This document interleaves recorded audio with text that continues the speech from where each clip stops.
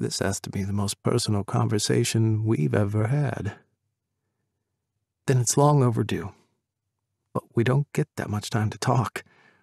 You arrive and I go to work. Or I come home and you leave.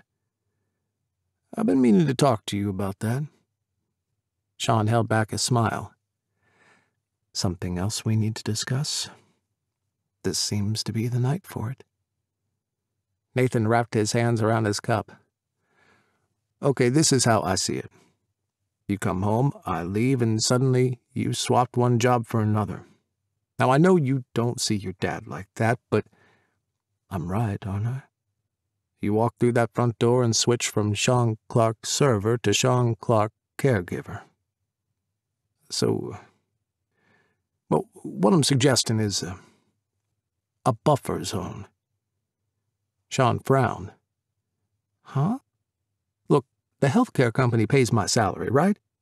You agree on how many hours I work, so what if, two days a week, when you come home, I don't leave right away? What if I work an extra couple of hours?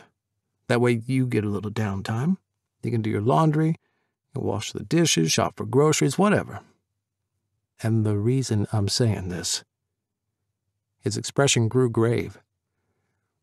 I know you only work 30 hours, but for the rest of the time, you're looking after Peter. And it's taken its toll. Now, there's no one else around here to look out for you. Except me. Those warm brown eyes locked on his. You can't keep this up, Shaun. Something's gonna give.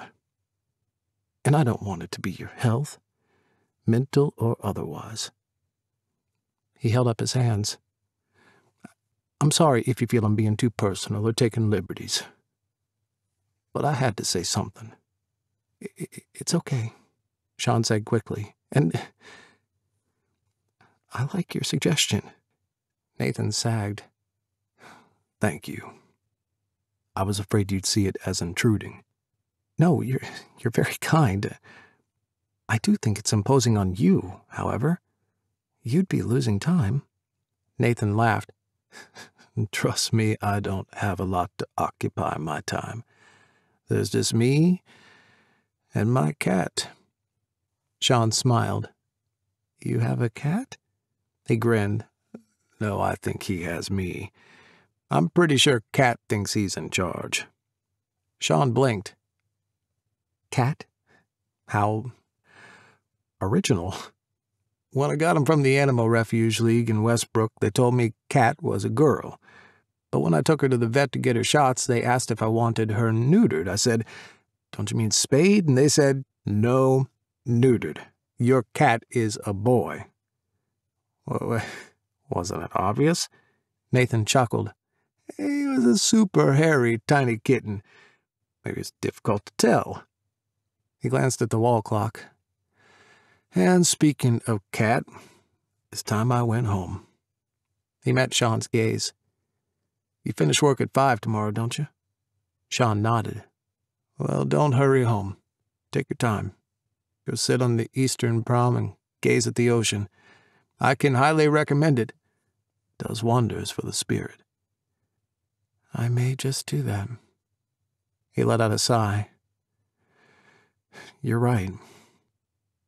I'll talk to the company about changing your hours. Nathan stood. Thanks for the tea. I need to put that on my grocery list. I'll see you in the morning. Sleep well. Shaun stood too. Thank you for listening and for thinking of me. Uh, all of it. You're welcome. Nathan flashed him a familiar smile. Shaun walked him to the front door and waved as Nathan drove his car away from the curb. He closed it and locked up. He'd known the moment he'd met Nathan that he was one of the good guys, and their conversation only served to confirm his assessment. A very attractive good guy.